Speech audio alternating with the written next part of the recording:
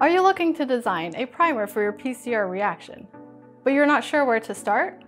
I'm Jennifer, Science Communications and Marketing Coordinator at Addgene, and I'm here to help. As you know, PCR reactions require two complementary oligonucleotide primers.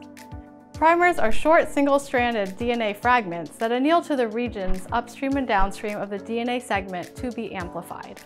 Designing a working primer can be a bit tricky, with so many ways to design them and a number of small details that can derail your reaction. So we're here with a few useful tips to guide you through the process. There are several properties you'll need to consider to design successful primers. The length of the primer, the annealing and melting temperature of the primers, the GC content of the primer, and the secondary structure of the primer. We'll start with the primer length. Generally, you'll want your primers to be between 18 and 24 base pairs. This is the optimal range to get the best yields. If your primers are too short, they could produce more non-specific DNA amplification products, meaning that some of your DNA products aren't what you were trying to amplify. But on the other hand, if they're too long, they can result in slower hybridization rates. Next, let's talk about annealing and melting temperatures.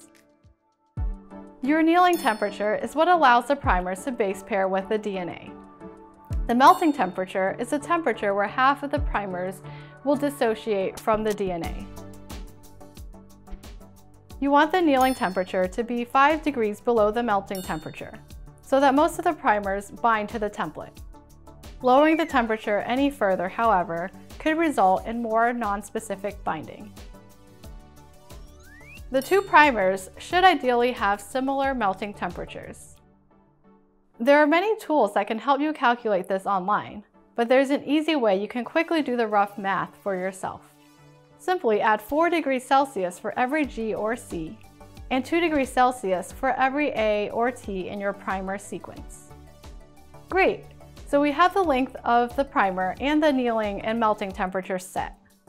But what about the makeup of the nucleotides in your primer? The ideal makeup of a primer is between 40 and 60% GC content.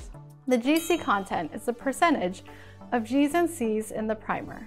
So for example, if a primer contains 20 base pairs total and has 6 Gs and 4 Cs, it would have a 50% GC content.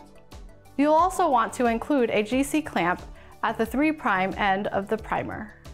This means that you include 2 to 3 Gs and Cs to the 3' prime end of the primer if possible, given the constraints of your DNA sequence. GC base pairs are useful because they have three hydrogen bonds, one more than the AT pairs that have two hydrogen bonds. Therefore, GC pairs help promote stronger and more specific binding to the template DNA, helping to ensure your reactions will work properly. Now, there's a secondary structure to consider. Depending on the sequence of the primer, there's a chance it could form hairpins or dimerize with itself, or the other primer. This means it could base pair with itself, or base pair with the other primer instead of the template. To prevent this, use online tools to warn you of potential hairpins, self-dimers, or cross-dimers. Check out Addgene's blog post for some programs and tools you can use. Also, be aware of repeats in your nucleotide sequence. Too many repeats could cause mispriming, and the primer can anneal to unintended locations. Avoid runs of identical nucleotides in the 3' portion of your primer too, for the same reason. Congratulations! You just successfully designed a PCR primer. If your primers do not give you the PCR product you're looking for, you could try changing the conditions of your PCR reaction, like the annealing temperature. If you're still not having any luck, it might be time to go back to the drawing board and redesign your primers. Thanks for watching! Remember to check out our other protocol videos and leave a comment below to tell us what videos you'd like to see, or let us know how we could improve. Visit addgene.org slash protocols to see more lab methods in action. Addgene, a better way to share science.